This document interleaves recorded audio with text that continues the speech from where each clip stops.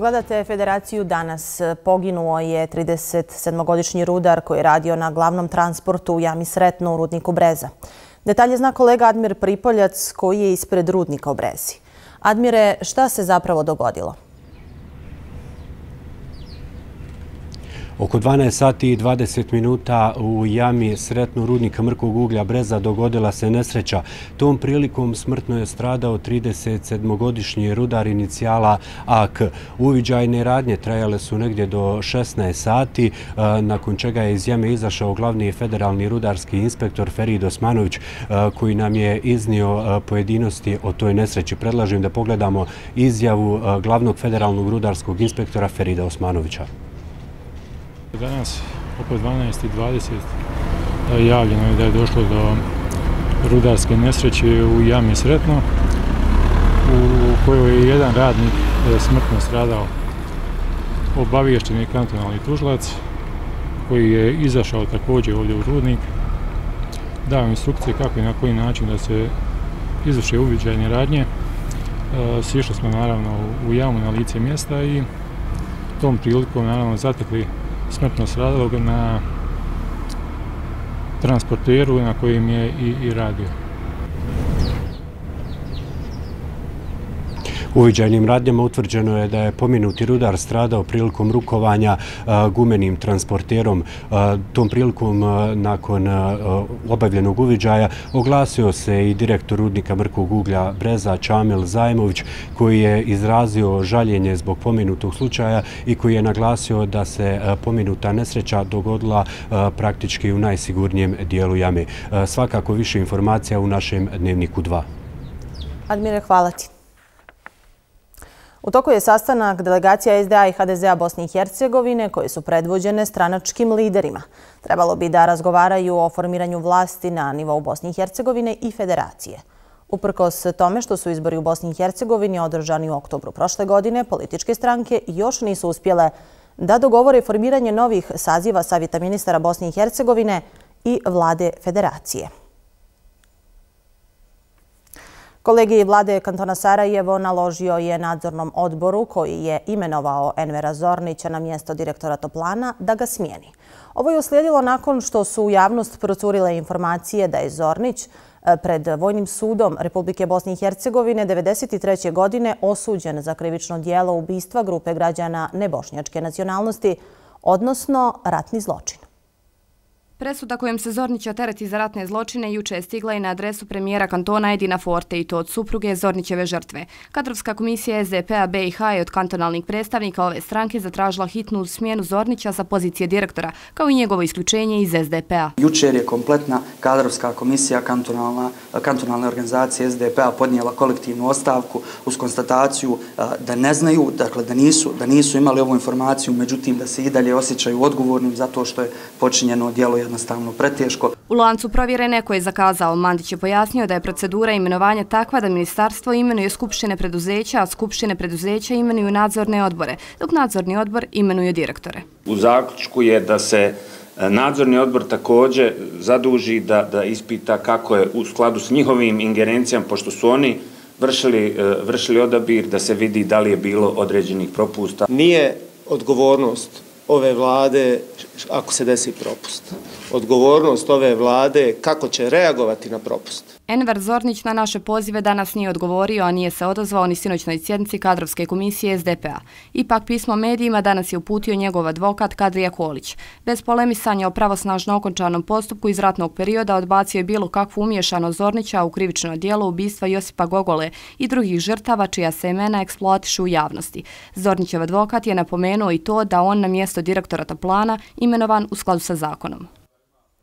Federacija neće ostati bez gasa. Prema riječima resornog ministra ne postoji nikakav ugovor sa preduzećem Gas Promet Sapala, koje je juče najavilo da bi potrošačima moglo biti uskraćeno snabdjevanje ovim energentom od 1. oktobra zbog isticanja ugovora o transportu gasa od Zvornika do Sarajeva. Istaknuto je da su obavljeni razgovori sa Srbijagasom te da nema razloga za zabrinutost jer su sve obaveze izmirene. Ono što bi trebalo je da se donese državni zakon o gasu, te riješi problem kontrole ulaza gasa u našu zemlju. Sve fakture, sve naše obaveze su plaćene. E, kompanija koja juče pustila spin u medije, jednostavno ne postoji u pravnom prometu između BH Gasa i Srbije Gasa. Znači u 21. godini ta kompanija uopšte nema tu vrstu ugovora za transport. Tako da nam nije bila jasna namjer za zivanje neke panike. Ugovor sa Srbija gasom, kad govorimo o transportnom, transportnom ugovoru, ističe krajem septembra 39. i na prijedlog aneksa 21 kojeg je predložila uprava BH gasa, e, Srbija gas je e, dostavila informaciju da se u većini slučajeva slaži sa svim elementima tog aneksa, osim sa jednim da traži da primio predaja, dakle, gasa bude na sredini rijeke Drini. Što je apsolutno neprihvatljivo. Pregovarački timovi vlade kantona Sarajevo i sindikata radnika u zdravstvu nisu našli rješenje koje bi dovelo do prekida štrajka. Sindikat radnika u zdravstvu kantona Sarajevo ne odstupa od svojih zahtjeva, a naredni sastanak biće održan početkom naredne sedmice. Dva sata pregovora kako bi se došlo do kompromisnog rješenja i prekida štrajka ljekara. Međutim, dogovora nema, a iz sindikata radnika u zdravstvu kažu ostaju pri svojim zahtjevima. Iznijeli smo im zahtjev e, Skupštine e, sindikata radnika u zdravstvu u kantonu Sarajevo, a to je e, da se kolektivni ugovor zove granski kolektivni ugovor, E, da se koeficijenti usklade prema koeficijentima specijaliste, a to je 5,40, da satnica ide 2,80, sa 2,60 na 2,80 i da se najkasnije od 1.10.2019. počne primjenjivati novi granski kolektivni ugovor. Alternativa za pacijente ne postoji, stoga je cilj oba pregovaračka tima da što prije dođu do mogućeg rješenja. Ti zahtjevi za 2020. godinu u ukupnom nivou iznose oko 31 milion konvertibilnih maraka, a procjena našeg zavoda zdravstvenog osiguranja je da će naredne godine biti raspoloživo 15 miliona konvertibilnih maraka dodatnih sredstava. To znači da bismo sav taj novac, čak i ako damo i svih 15 miliona, sav taj novac dali isključivo na ove plate. Ukoliko ni iduće sedmice ne budu postignuti dogovori, zdravstveni radnici stupaju u proteste 7. oktobra, upravo ispred zgrade vlade kantona Sarajevo. A na sjednici vlade Posavskog kantona odobrena je nova pomoć domovima zdravlja od 6.000 maraka. Na ovaj način izbjegnuti su štrajkovi zdravstvenih radnika. Mi smo danas intervenirali znači, e, kako bismo pomogli znači, dva doma zdravlja u i Ođak sa financijskim sredstvima koja idu dakle, u smjeru dakle, da, da im pomognemo da obaveze između ostalog iz kolektivnih ugovora mogu nositi. Vlada federacije utvrdila je nekoliko amandmana na prijedloge zakona o doprinosima i porezu na dohodak. Cilj je da se unaprijedi poslovno okruženje, rastereti privrednici, stvore preduslovi za veća zapošljavanja i smanjenje troškova rada, ali istovremeno ne ugroze budžetski fondovi te penzioneri i korisnici zdravstvene zaštite. Povećanje direktnih i indirektnih poreza na godišnjem nivou omogućilo je uslove za snižavanje zbirne stope doprinosa na plate. Poslodavci trenutno imaju trošak rada 41 od 100, a amadmanima koje je prihvatila vlada snizit će se na 32. Uslov je da nema neoporezivog dijela plate. Nama je bila niska minimalna plaća, poslodavci su koristili tu obvezu zakonsku i koristili skoro još jednu minimalnu plaću za doprinose po različitim osnovama koje nisu bilo porezive. To je topli obrok, to je prijevoz i ostalo. Naša računica je sada pokazala da svi poslodavci koji imaju plaću ispačenu do 650 maraka, tu je znači neutralan efekat. Biće im isti troškovi ovaj, rada, Sve preko 650 maraka, zavisi od, naravno od raspona, imaće manju stopu. Osnovna novina u zakonu o porezu na dohodak je da će umjesto dosadašnje tri stope poreze na platu biti samo jedna.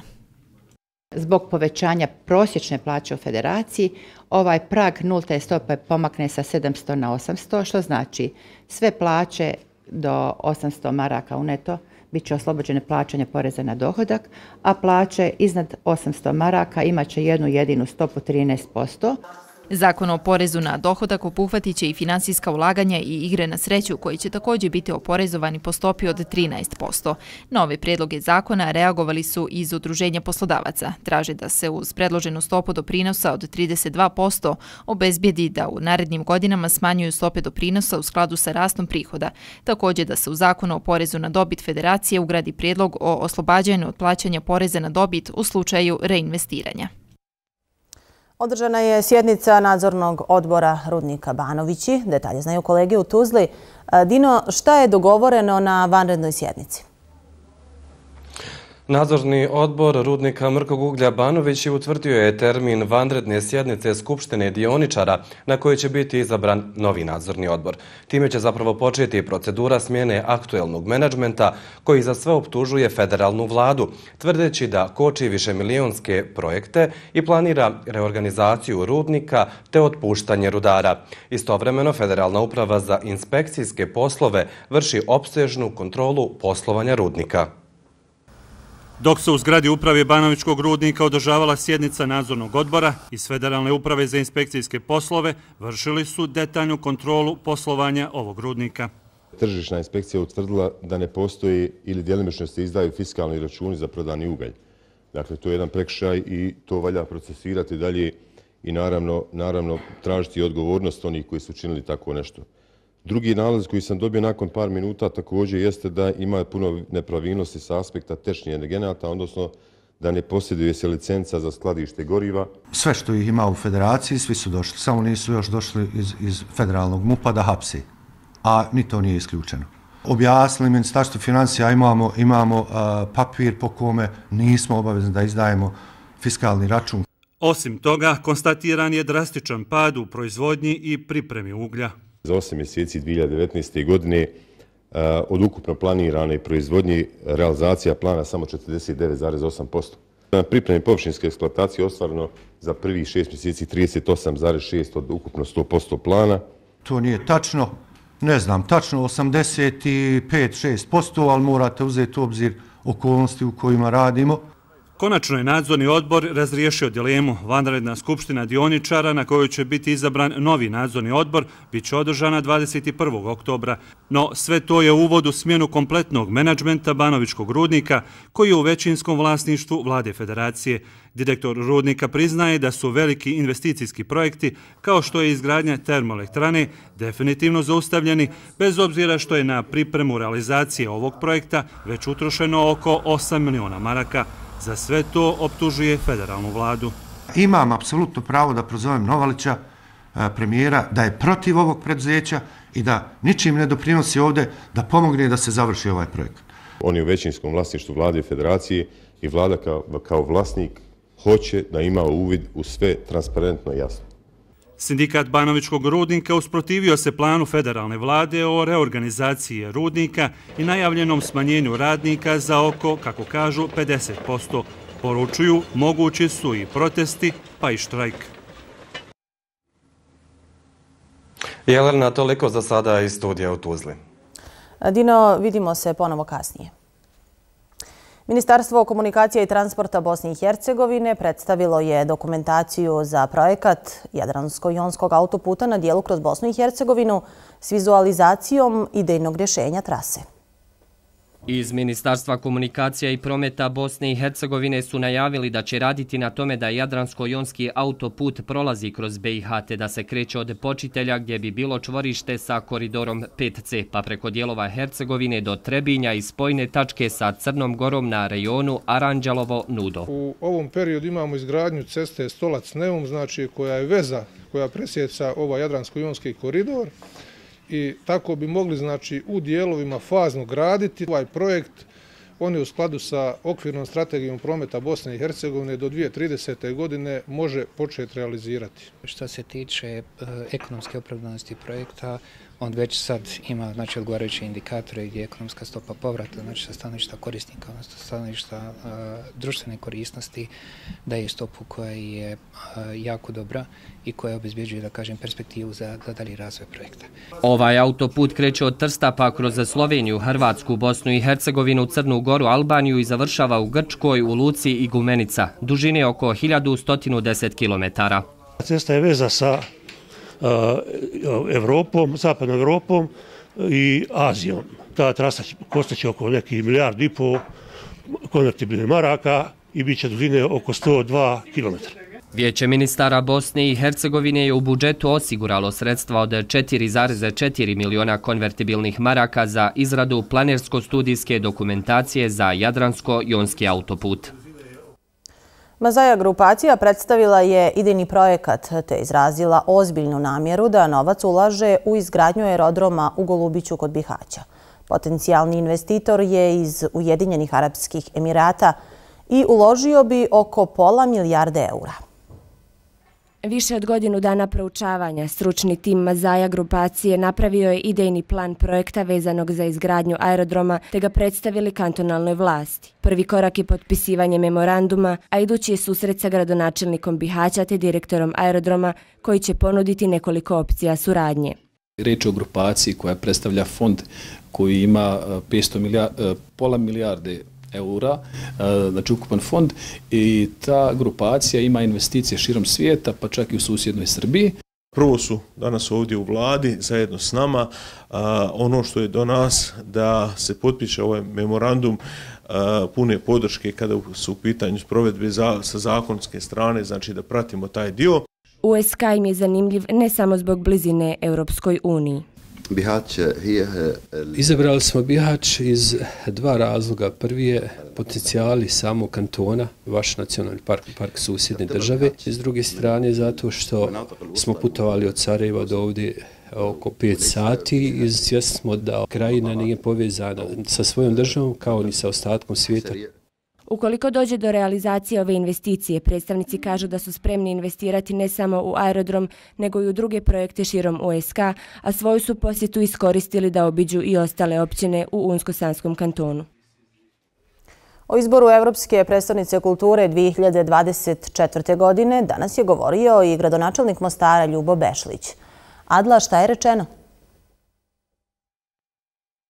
Ovima tima Mostar 2024 obratio nakon povratka iz Brisela i iznijeli su svoje viđenje tog završnog čina odabira Evropske prijestolnice kulture za 2024. godinu u takmičenja u kojem je Norveški bod pobjedio i Mostar i Banja Luku. U timu su zadovoljni učinjenim, no istovremeno razočarani zbog spoticanja na koja su nailazili tokom cijelog procesa. Iz Brisela se kaže tim Mostar 2024 vratio zadovoljan jer je jasno i precizno komisiji izložio svoj koncept kako bi se u Mostaru kultura trebala razvijeti. Završnica izbora Evropske prijestolnice kulture ujedno je za njih bila i edukativna jer su dosta spoznali o savremenom trenutku u kojem se ova oblast nalazi. O tome kako se e, kultura realizira, kako se ideje u kulturi sprovode u dijelo, kako se njima upravlja i to e, je, kako se svi slažemo, i naš daljni cilj koji moramo razvijati i razvijat će ga najavljuju bez obzira na sve prepreke na koje nailaze, a bilo ih je u posljednje vrijeme. Svjesnicu kažu da su kandidovali grad u kojem nema ni izbornog procesa ni vlasti i koji pritom dolazi iz zemlje koja gotovo godinu dana ne uspjeva formirati vlast. No nisu mislili da će ih tako reći sabotirati vlastiti sugrađani, pa čak i visoki predstavnik Valentin Insko. A da ih jesu sabotirali, potvrda su im bila pitanje na koja su u Briselu morali odgovarati. Zašto Konjicu nije dao ili dao je pa povukao podršku, zašto Trebin je dalo pa povuklo, zašto Sarajevo je izrčito stalo na stranu Banja Luke, ako ste izrčito za Banja Luku, znači da ste protiv Mostara. Još je bilo nekih pitanja koja su e, indicirala na činjenicu da je bilo i određenih, nažalost, i potkopavanja iz Mostara. I sigurno samo ovaj predstavljanje visokog predstavnika u jedinim narodima, ako to gledate iz tog političkog konteksta i usto sve, ovaj, sve neke druge stvari, možete vrlo lako mozaik složiti da Evropa ide samo na sigurno, Insku u mostarskom timu kulturnih djelatnika zamjeraju i što je čestitku za ulazak u finale izbora za Evropsku prijestolnicu kulture uputio samo Banjoj Luci. No sve to ih, kažu, neće spriječiti da sve osmišljene projekte pokušaju ostvariti, jer se kroz ovu priču, kažu, stvorila sinergija svih uključenih koji žele raditi za grad i njegove građane. 107 demobilisanih boraca, ratnih vojnih invalida i članova porodica poginulih potpisalo je ugovore o dodjeli novčanih sredstava kao pomoć pri izgradnji, rekonstrukciji ili sanaciji individualnih stambenih objekata u Hercegovačko-Neretvanskom kantonu. Sredstva u iznosu od 400.000 maraka osiguralo je kantonalno ministarstvo za boračka pitanja, a pojedinačno će se isplatiti od 2 do 7.000 maraka, ovisno o vrsti radova. Od radova koje će raditi naši branitelji imamo za krovne konstrukcije, odnosno popravak krova 54 zahtjeva, unutarnji radovi 37, i radovi na promjeni zamjeni otvora, znači imamo 16 zahtjeva. Po kategorijama HVO 45, odnosno Armije Republike Bosne i Hercegovine 62. Koliko vama znače ovi novci? Koliko ne mogu vam kazati, gospođo, puno znači, pošto su u mene mala primanja i sada, sada mi ovo dobro znači i zahvalio bi se ja ovom ministarstvu, daju oni, oni daju puno ljudima i pomažu i prije mene nazad nekoliko godina kako su se uključili, stvarno to daju i prepoznaju. Iz Mostara za danas toliko. Adla, hvala i doviđenja. Imenovanje na čelne pozicije javnih preduzeća osoba koje su osuđene za ratne zločine ne doprinosi pomirenju, smatraju u koordinaciji udruženja proisteklih iz domovinskog rata u Bugojnu. Kažu da dok oni još tragaju za posmrtnim ostacima nestalih, Enes Handžić, koga je sud Bosne i Hercegovine kao pripadnik armije Republike Bosne i Hercegovine, osudio na osam godina zatvora zbog zločina nad Hrvatima u Bugojnu, već godinu i po uredno obavlja funkciju direktora komunalnog preduzeća u Donjem Vakufu. Kažu da ovo nije prvi slučaj u ovom kantonu. Tražimo odgovornost znači, politike ljudi koji mogu mogu utjecati na to da, da ti ljudi, da, da idemo po mirenju, da, da ne stvaramo još veće tenzije. Na sjednici Skupštine opštine Srebrenica usvojen je dokument Strategija razvoja opštine Srebrenica za period 2018-2022. godina. Usvojena je i odluka o davanju prostora na raspolaganje prihvatilištu za pse, koji će uskoro biti osnovano u Srebrenici. Odbornici Skupštine opštine Srebrenica donijeli su odluku o formiranju komisije koja će se baviti problemima uzurpacije zemljišta i nelegalne gradnje. Iz razloga što se užurbano počelo graditi na teritoriju opštine Srebrenica na svakom mjestu, u svakoj mjestnoj zajednici bez ikakvih dozvola i bez ikakvih plana gradnje. Ova odluka naročito se odnosi na područje nacionalnog parka Drina te neplanske gradnje na jezeru Perućac. Sve je nelegalna gradnja, tamo ima dosta na vodi objekata, tamo ima dosta e, plovnih objekata e, koji su nabavljeni bez saglasnosti dozvola od strane opštine nadrežnog odeljenja i prema tome sve se mora uvesti u rijed u skladu sa zakonom o nacionalnom parku Drina, u skladu sa zakonom o nacionalnim parkovima, u skladu sa zakonom o građenjima. O lokaciji za izgradnju prihvatilišta za pse raspravljalo se gotovo cijelo prije podne. Iako je prvenstveno prihvatilište trebalo biti smješteno na lokaciji stare stočne pijace na Kragljivodi, zbog blizine memorialnog kompleksa lokacija je promijenjena. Sve lokalne zajednice u našem okruženju imaju problem sa psima lutalicama i opština Srebrenica u Dljeni za privredu je predložila Skupštine opštine lokaciju koju smo smatrali, koja je ispunjavala sve zakonske obaveze da može biti lokacija za prihvatilište za pse. Usvojena je i odluka o uspostavljanju saradnje između regije Hođali u Azerbejdžanu i opštine Srebrenica, koja će biti fokusirana na kulturnoj, naučnoj i obrazovnoj saradnji te promociji trgovine i turizma. O Evropskom danu jezika govorimo u nastavku. Ponovo ćemo do kolega u Tuzli. Dino? Tako je Jelena kantonalnom smotrom stvarala što na engleskom jeziku za učenike osnovnih škola Evropski dan jezika obilježen je u Tuzli. Cilj obilježavanja je vrednovanje svih jezika i kultura te poticanje ljudi svih generacija na cijeloživotno učenje. Detaljnije će Azra Delmanović.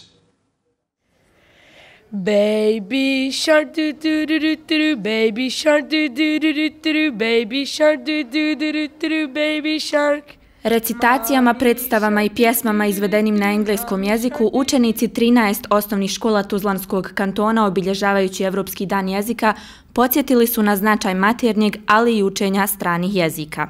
Pokušamo dići svijest o tome koliko poznavanje engleskog jezika e, otvara vrata za uspjehe u nekim drugim sferama života. Pa smatram da je vrlo bitno i rano početi, a i onaj ko malo zakasni, bitno je da što prije ovaj počne učiti engleski jezik, jer je to danas osnovni vid komunikacije svugdje u svijetu i možemo slobodno reći da je engleski jezik a, globalni jezik.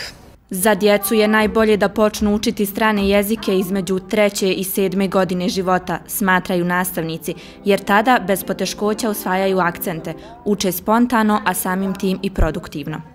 Da, to mi je ono, bolje od bosanskog skoro. Pa u nekim, zavisi neke riječi ili nešto, mi je jes malo poteško, ali od prilike ovo je ostalo je lagano. Evropski dan jezika u Tuzli obilježen je u gimnaziji Ismet Mujezinović, a u organizaciji Udruženja aktiv nastavnika i profesora engleskog jezika Tuzlanskog kantona. Federalni zavod za zapošljavanje objavio je drugi krug javnog poziva za učešće u programu sufinansiranja zapošljavanja, odnosno samozapošljavanja za Tuzlanski kanton. U pitanju je poziv za nezaposlene osobe i poslodavce. Program se realizira s ciljem zapošljavanja najmanje 12.000 osoba sa evidencije nezaposlenih u federaciji radi očuvanja i unapređenja radnih sposobnosti te stvaranja uslova za jačanje konkurentnosti mladih osoba bez radnog iskustva kroz osposobljavanje za rad u struci i sticanje prvog radnog iskustva. Kada su u pitanju poslodavci, potrebno je da su registrirani u federaciji i da redovno izmiruju obaveze po osnovu poreza i doprinosa. Prijavne obrazce zainteresirani mogu pronaći na web stranici Federalnog zavoda za zapošljavanje. Javni poziv za zapošljavanje i samozapošljavanje za Sarajevski kanton bit će objavljen sutra. Jelena, toliko za danas iz Tuzle. Dino, hvala ti i doviđenja. Postavljanjem izložbe najvećeg grafičara 20. vijeka, omaž Virgiliju Nevjestiću, u Franjevačkom muzeju i galeriji Gorica Livno, ta institucija dala je doprinos obilježavanju Dana grada Livna i 1127. godišnjice prvog spominjanja ovog kraja u jednom pisanom dokumentu. Rođen kao osmo dijete u duvanjskoj obitelji, Virgilij ostaje trajno zaljubljen u Pučko i ruralno, premda po završetku Likovne akademije u Zagrebu odlazi u svjetsku prijestolnicu kulture Pariz, gdje živi i stvara do kraja života 2009. godine. Stoga je svaka izložba nakon njegove smrti, pa tako i ova u Livnu, zapravo svojevrstan omaž velikom umjetniku. Mi smo odlučili ovu izložbu upriličiti e, prigodom obilježavanja Dana grada Livna. Mislim da ljepši poklon svom gradu za rođendan nismo mogli dati. Na izložbi je predstavljeno 83 dijela, e, grafike, pasteli, crteži i nešto keramike kojom se Nevjesić počeo baviti pre kraja života. Bez vlastitih potomaka svoja dijela ostavlja nečako pod uvjetom da ih ne smije rasprodati. On je to sve čuvao kao svoju djecu. Jer on i Daniela nisu imali djece, onda je znao reći da su grafike njegova djeca. Dok sam ja živi, vodim brigu o tome, mora biti sve na okupu, sve znači da svijet i ljudi ovi s ovih prostora da upoznaju bolje Nevistića. U Francuskoj su ga smatrali jednim od svojih najvećih grafičara, a on je sam sebe nazivao skitnicom. Posjetitelji moraju obratiti pažnju na taj jedan raniji ciklus 70. godina, kada je on zapravo i proglašen najboljim grafičarom Francuske 20. stoljeća. Crteži na pergameni su isto vrlo interesantne, tako da posjetitelji, ko što sam rekla na samom otvorenju, posjetitelji moraju ga otkrivati. A za otkriti je doista puno toga, jer je Virgilije bio osebujan, kritičan, ponekad i konfliktan. Pisao je pjesme, vodio dnevnik, prvo u tekicama, a potom na grafičkim pločama, preklapao realnost sa iluzijama, bilježio dojmove, misao, reakciju na neki politički događaj, tako da ga se otkriti i shvatiti može tek pomnim promatranjem i čitanjem. Međunarodna konferencija o održivom turizmu bila je prilika da kompanije iz Bosne i Hercegovine i Slovenije razmijene iskustva i prakse o ovoj oblasti. Saradnja je proširena, a mogući su i zajednički projekti.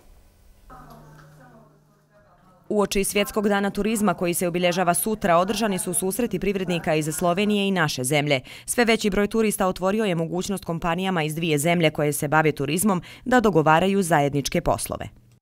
Procjene su da će 2030. godine oko milijardu i 800 e, ljudi u svijetu koristiti turističke usluge i to će biti uglavnom ljudi iz trećih zemalja, mnogo ljudnih, da mi Slovenija trebamo da e, zajedno kao region nastupimo jer je e, suviše malo tržište Bosne i Hercegovine da bi dalo ponudu tim e, e, tako velikom broju ljudi koji imaju naviku da kad dolazi u region posjeti cijel region. Postoje pravne osnove za našu bilateralnu saradnju između Bosne i Hercegovine i Slovenije i ujedno postoji i pravna osnova za naše e, zajedničko nastupanje prema trećim tržištima. I ovom prilikom je ukazano na potrebu postojanja sveobuhvatne državne strategije i poticajnih mjera u oblasti turizma, poput smanjenja ili oslobađanja PDV-a. Mi to pokušavamo kroz upravu za indirektno opozorivanje već 7-8 godina da, da se to definiše, da se to uspostavi, ne uspijevamo. Sad zamislite samo koliko bi mi bili e, e, konkurentni na međunarodnom svjetskom tržištu turizma kad bi izlazili sa cijenama koje su nam niže. Konferenciju su organizirali Vanjsko-trgovinska komora Bosne i Hercegovine i Ministarstvo vanjske trgovine i ekonomskih odnosa sa ugostiteljsko-turističkom komorom Slovenije i ambasadom Slovenije u našoj zemlji. Muzej Tunel Spasa dobio je novu postavku, mogućnost virtualnog pralaska kroz nekadašnji Sarajevski ratni tunel. To je ideja studenta Elektrotehničkog fakulteta u Sarajevu koji su u saradnji s profesorima upotrijebili tehniku virtualne realnosti korisnik može sa tim uređajem virtualno proći kroz tunel, ima prepreke e, visinu stropa, vodu koja se pojavi u neko doba u tunelu, čovjeka koji dolazi u susret. Znači, nastojali smo da dočaramo iskustvo koje su imali ljudi u toku rata koje su prolazili kroz tunel, ali pored toga smo dodali i priče u 360 videu koje uče naše korisnike o detaljima vezanim za tunel i za opsadu Sarajeva. Taj stvarni prolazak tunela i danjašnje gledanje ovaj, ovom tehnikom vratilo me u, u, period kao da prolazite kroz, kroz, kroz, pravi, kroz, kroz pravi autentični tunel negdje na početku rata. I, I ovo je na neki način doživljaj koji se ne može, ne može, ne može ovaj, zaboraviti. O vremenu narednih dana u nastavku. Sutra će biti pretežno sunčano vrijeme, vjetar slab promjenljivog smjera. Najniža jutarnja temperatura od 6 do 11, na jugu do 16, najviša dnevna od 20 do 26 stepeni. Za vikend meteorolozi najavljuju u Bosni umjereno do pretežno oblačno vrijeme. U Hercegovini mala do umjerena oblačnost, temperatura do 27 stepeni. Toliko od ekipe Federacije danas. Hvala na pažnji i doviđenja.